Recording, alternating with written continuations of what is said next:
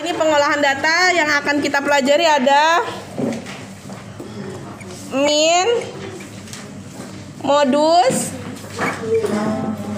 sama median. Modus itu kalau bahasa anak sekarang, ih modus lu berarti apa sih kalau modus? Bohong ya? Kalau orang udah biasa bohong, buat nutupin kebohongannya bohong terus nggak? Jadi bohongnya jadi banyak nggak? Jadi banyak ya. Ternyata dalam matematik ada yang tersirat begitu modus artinya adalah data yang sering muncul. Data yang sering muncul sama kayak bohong, udah muncul muncul lagi terus buat nutupin kebohongan sebelumnya. Itu modus. Misalkan ibu punya data nih. Data nilai ya. Nih data nilai, misalkan ini nilai 5, ini nilai 7, ini 9, ini 10.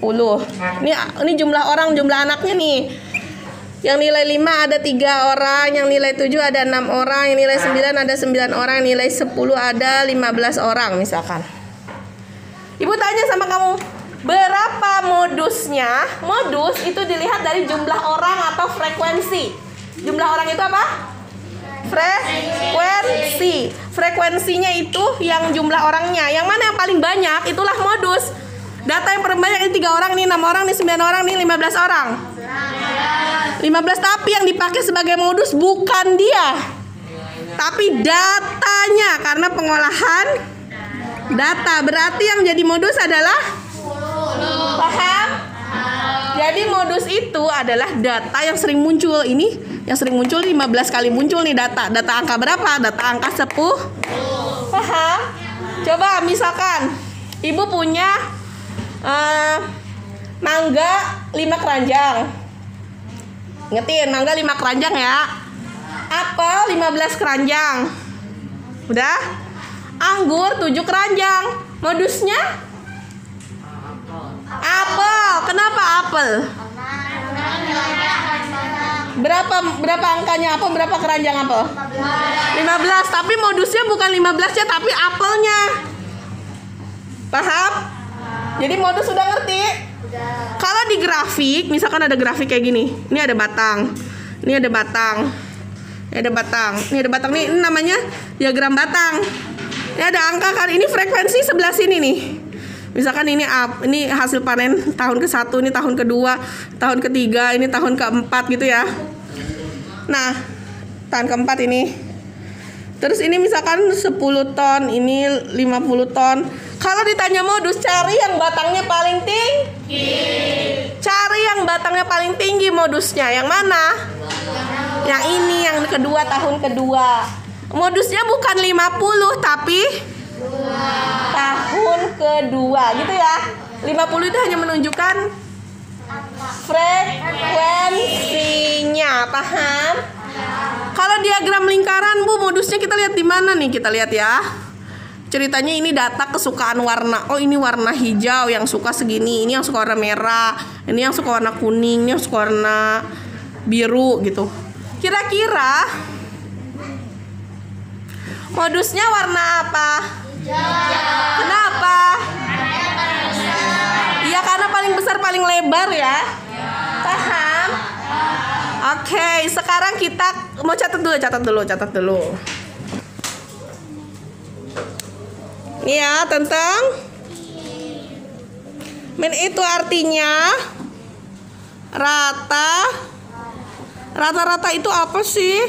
Rata-rata itu yang sudah dikali terus dibagi jumlah data. Kalau lihat angka ini nih kalau nyari rata-rata ini dikaliin nah. Kaliin ini kaliin ini kaliin ini kaliin. Jadi misalkan ada data tadi 5 7 9 10 ya? 5 berapa orang frekuensinya. Frekuensinya 5 3 orang. Terus 7 6 terus? 9 orang ini? Kalau ini nyari rata-ratanya di kali dulu. Kali kali kali kali. 5 kali 3 tulis di samping luar kotak. 7 kali 6 42 9 kali 9 10 kali 15 150 terus dijumlah. Jumlah 5 tambah 2 7 tambah 1 8 tambah 0 8 1 tambah 4 5 tambah 8 13 tambah 5 Berapa? Simpan 1 288 ini baru jumlah hasil kali ya. Dibagi Kalau rata-rata tuh dibagi Frekuensi. Frekuensi. Isinya kan ada 3, ada 6, ada 9, ada 15 banyak bu. Ya jumlahin dong biar jadi da- jadi satu data. 3 tambah 6 18 tambah 15 30 Nyumlain bisa kan jumlahin? Baru dibagi deh pembagian rumah. 288 Bagi 33 Bu 3, 28 bagi 33 nggak bisa ya. Udah coba aja 33 Kan kalau angkanya gede gini cobanya sama angka 5 dulu ya nak. 33 kali 5 dulu. Tengah-tengah kan angka 5 15 simpan. 1 5 kali 3 15 16 Masih kurang jauh ya. Naikin yang tinggi 33 kali 9 langsung. Berapa? 7 sisa 2 9 kali 3 Wah udah kelebihan.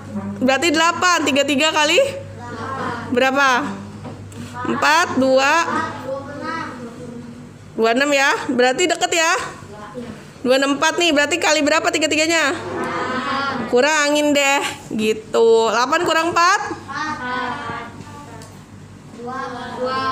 24 bagi tiga tiga nggak bisa. Kasih. Kasih koma. Kasih 0 kasih koma. 240 berarti yang mana nih? Kali 5 belum. Kali 6 berapa kali 6 18 simpan 1 18 19 kalau kali 7 cukup nggak? Coba 33 kali 7 coba berapa? Berapa? 21 tambah 2 23 kalau kali 8 kelebihan. Kali 7 berarti kali 7 di sini jadi 2 3 1 udah deh. Ini masih panjang kan ke bawah diambil satu angka. 8,7 berarti minnya berapa?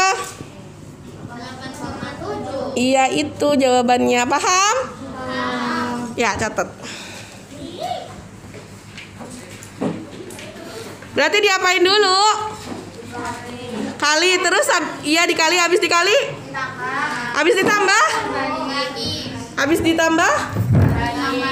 Dibagi. Bagi ke rumah ya. Udah deh dapat tapi dibaginya sama dibagi apa?